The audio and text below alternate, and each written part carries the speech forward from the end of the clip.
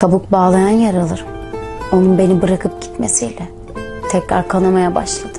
Oysa yaralarımı sarmaya geldiğini sanmıştım. O da herkes gibi bırakıp gitti. Karanlık bir odada yapayalnız bıraktı beni. Oysa elleri hep ellerimde olur sanıyordum.